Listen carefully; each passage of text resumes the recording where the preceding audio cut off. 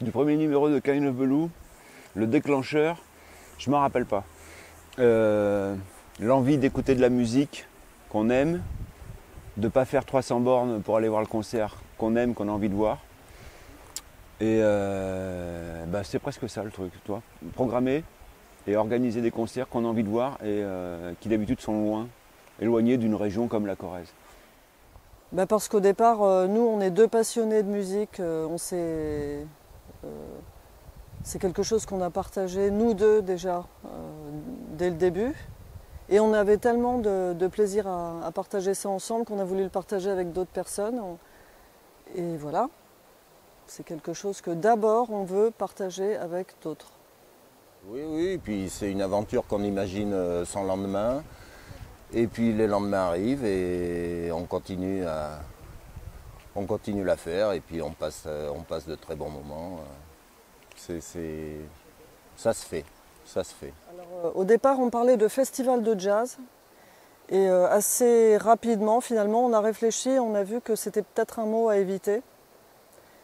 Parce que ça pouvait soit induire les gens en erreur, soit leur faire peur. Donc on s'est dit qu'on ne parle plus de jazz. Après, si les gens veulent y trouver du jazz, ils en trouveront. En, tout cas, ils trouveront de la musique. Et ça, c'est l'essentiel. Parce qu'il peut y avoir toutes sortes de choses euh, dans la programmation, des choses très diverses.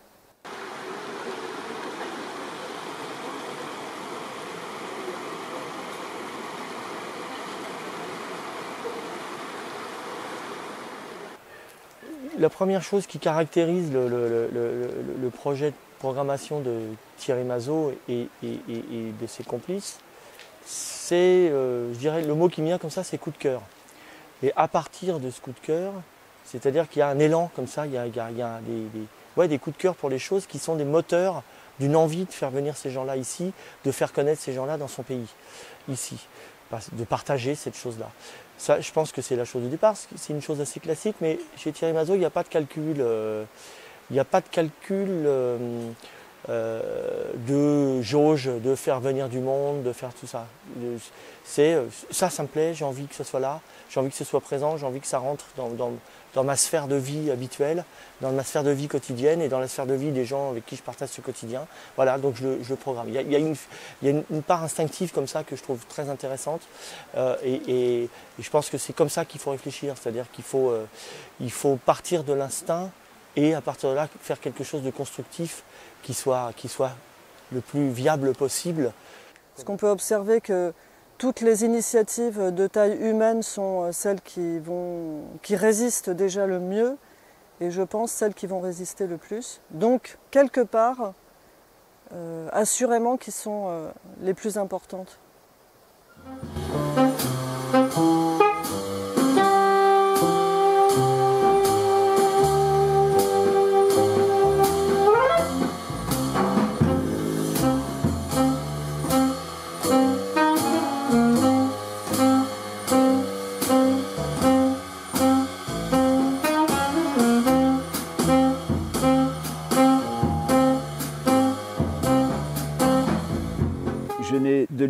Quasiment aucun autre festival, mais on n'est pas pour autant des, autistes renfermés sur eux-mêmes. Euh, ah, c'est pas politiquement correct, autiste. Non, on n'est pas des. Bon, bref. Euh, par contre, on adore créer des liens avec d'autres organismes et, personnes du coin. Tu vois, cette année, on est vraiment en lien avec les artistes, euh, un collectif d'artistes qui sont installés à La Selle, un bled à 15 km, qui font de la sérigraphie, de la peinture, des machins, des tapages sur bidon. Euh, bon, il y a la, galerie Trégnac Projet de Sam Bassu, euh, qui est sur l'autre rive d'où on parle euh, qui nous accueille. On aime bien développer ce genre de partenariat. Avec les autres festivals, non. Mais en fait, ça m'intéresse pas tellement. Je vois, ils font chacun fait son truc. Mais par contre, c'est super intéressant de bosser avec les gens du coin et de faire des choses avec eux. Comme le Café du Commerce aussi, qui est un super partenaire. Une ligne directrice, c'est déjà faire, déjà faire accepté par, euh, par la population euh, locale. Une, euh, le, fait d'écouter de la musique, une musique qui n'est pas mainstream, qui est un peu en dehors des, sentiers battus et, de, de, s'intégrer, d'être transparent et en même temps d'apporter quelque chose, euh, d'apporter quelque chose culturellement un, dans, un, village de Haute-Corrèze, avec une moyenne d'âge qui doit être 65-70 ans, d'apporter autre chose. Et il fallait avoir des points de vue, alors des points de vue très fins, euh, aiguisés comme un stylo en papier, c'est un peu comme quand on arrive dans les années 2000, il faut avoir un point de vue, et dans n'importe quelle discussion, n'importe qui qui dit quelque chose, vous allez bah, vous placer le point de vue comme ça, comme un stylo très aiguisé, une discussion sur la Bolivie, sur la Lozère, on place son point de vue. En 2000, on vient placer son point de vue, et on le place au bon moment. Ouais, depuis 4-5 ans, on, on essaye de proposer des choses régulièrement. Ça a été un peu moins le cas cette dernière année. Mais euh, on peut faire, euh, on peut aller jusqu'à 10-12 rendez-vous hors festival, toi, c'est une mini saison culturelle. Et déjà dès, la rentrée, on a quand même pas mal de rendez-vous. Si, si c'est pas annulé, on a, on a deux trois concerts déjà de, de bouquets. Euh, pour moi, c'est aussi bien que le festival. Toute l'équipe est intégrée à la vie locale quotidienne. Et donc on, part là-dessus, on essaye de, de, rien révolutionner, on essaye d'arriver euh, tranquillement et de, euh, proposer des choses qui nous, sont, chères à nous, et un esprit, euh, de la bonne musique, un, chemin un, peu, un chemin un peu parallèle qui va bien, qui s'intègre bien dans la marche du village.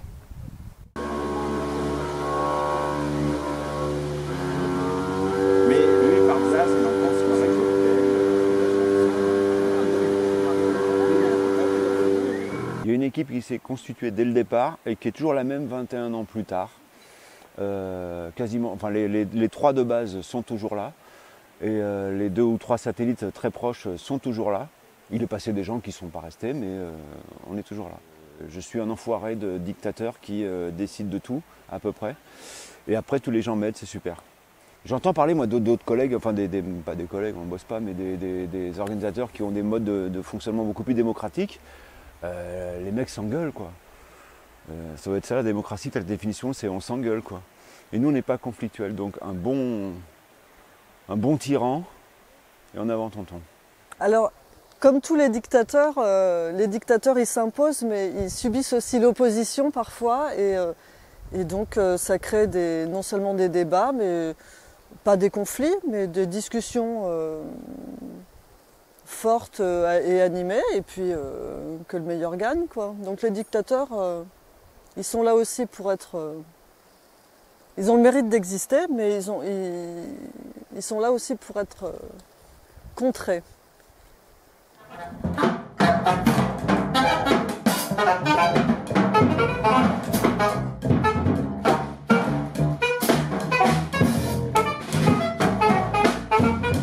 Bah c'était vraiment un accueil très très chaleureux et euh, même si je connaissais pas Thierry, j'avais l'impression que qu'on se connaissait quand même. Enfin, il y avait un, c'était euh, très simple euh, pour, s'héberger, pour manger, pour il y avait c'était c'était très très agréable. Et puis aussi Sam dans, dans, le lieu aussi très sympathique. Et puis il y avait aussi des artistes là qui étaient en résidence hier soir, on discutait aussi dans le Atreniac Projet. Euh, il y a plein de choses intéressantes qui s'y font.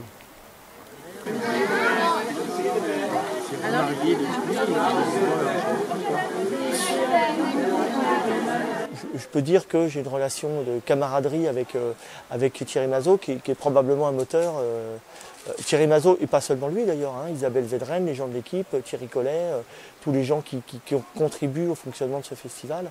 Euh, voilà, Sam, ici, chez qui on a enregistré un autre disque de, d'Ursus, Minor, What, Master Know. Euh, voilà, donc euh, tout ça, c'est des, relations humaines qui se font, comme dans les relations de travail, comme dans un atelier, comme dans une, usine, comme, comme dans un bureau. tout ça, c'est une espèce d'alchimie. voilà.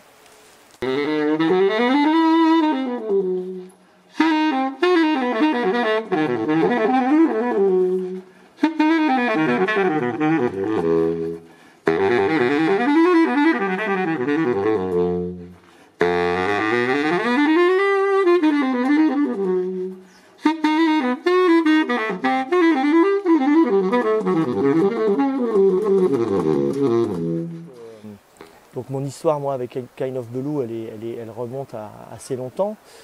Comme j'ai aucun sens de la chronologie, aucune mémoire des dates, je ne pourrais pas vous dire, mais, euh, la, prise de contact avec Kind of, Blue, c'est un, concert il y a une bonne quinzaine. Bah ah bah si, je peux, le dire, c'était en 2000, ça devait être en 2003, 2003 ou 2004, euh, avec le groupe Ursus Minor. Euh, puisque on a enregistré le disque, le premier disque d'Ursus Minor en 2003, et ça devait être 2003 ou 2004. Voilà, donc après c'est passé du temps, et puis on est revenu euh, en, enregistrer euh, euh, un disque qui s'appelle Chronique de résistance, où là il y a eu vraiment un, un, un, travail. On sait tous que Trégnac est, est, dans une région de résistance historiquement très marquée, très importante. Et donc, euh, donc on est venu faire ces chroniques de résistance ici avec sous la. C'était une proposition de Jean Rochard du label de la maison des disques NATO. Et, euh, et donc on, est venu ici, ici enregistrer euh, une chronique de résistance qui était une compilation de, de, textes de différents poètes, de Robert Desnos à René Char, en passant par, euh, en passant par certains, certains témoignages locaux, de, résistants, d'anciens résistants locaux. Et donc là, là l'histoire avec, avec Kind of Belou a commencé à s'écrire un peu plus dans la durée. Et en plus, le sujet, c'était l'histoire. Donc finalement, la notion d'historicité à travers cette nouvelle collaboration avec Kind of Belou ou d'historicité par rapport à la grande histoire euh, a, pris encore un, tour un peu plus fort à ce moment-là. Et depuis, euh, sont établis des rapports de collaboration avec Kind of Belou. Et pour moi, ça, c'est une chose extrêmement importante parce que euh, dans cette époque où, euh, où tout doit se faire très vite, tout doit être efficace très vite, tout doit être très vite rentable, euh, cette collaboration avec Kind montre que les choses peuvent se penser autrement dans la durée, dans l'érosion de la durée, dans l'érosion des relations et dans l'érosion de, de, de, d'un projet artistique qui se construit, qui se fait et se défait.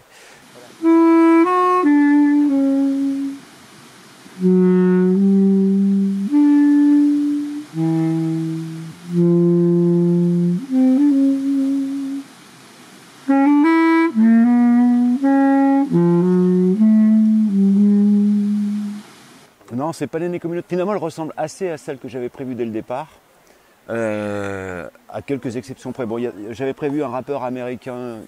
On a vite décidé que visiblement les, bon, les avions, on allait oublier. Donc euh, voilà, on a, vite décidé de ne pas faire le, concert avec ce rappeur qu'on a reporté l'année d'après. J'avais prévu le quintet de Cornelou euh, Révolution.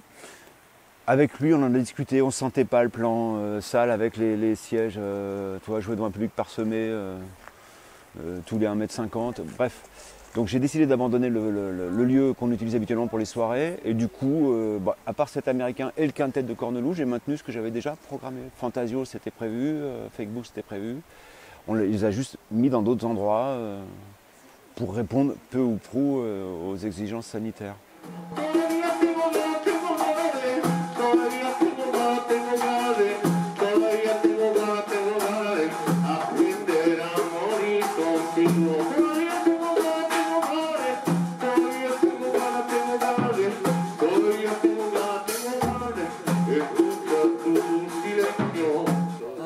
C'est l'orchestre du coin qu'on a déjà programmé euh, il y a deux ans et euh, qui nous ont beaucoup euh, enthousiasmés parce que musicalement ils sont très intéressants, ils sont drôles, ils sont pleins d'énergie et en plus ils ont beaucoup plu à nous mais aux autres aussi. Donc on en a pris de la graine et et là, pour terminer cette édition, ce sera parfait.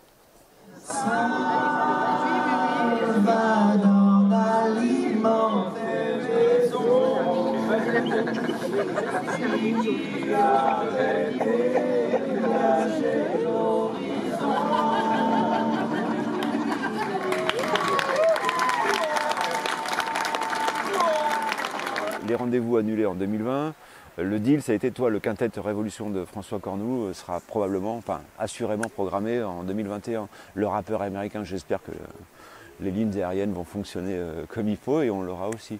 Et après, j'ai déjà d'autres idées. euh, quasiment fait. hein. Ça me semble décoiffé, ça me semble une démarche obligatoire dans- dans une, de- dans, une, dans une démarche culturelle. Ça me il faut à un moment déranger, il faut à un moment euh, interroger. Euh, après, on aime, on n'aime pas. C'est comme ça qu'on s'approprie euh, qu'on s'approprie tout, tout art. Ah oui, oui, oui, je serais ravi de revenir pour l'édition l'année prochaine. Message est lancé. À la base de ça, le désir est toujours là de faire les choses. Parce qu'en même temps, on n'est absolument pas obligé, rien n'est obligatoire. On n'est pas obligé de vou- vouloir convaincre les gens des choses. Euh, et donc, euh, donc, il faut qu'il y ait du désir au départ de ça. Donc, euh, S'il y a du désir, c'est pas c'est donc pas sans le vouloir. Après, on s'arrange avec la réalité des choses.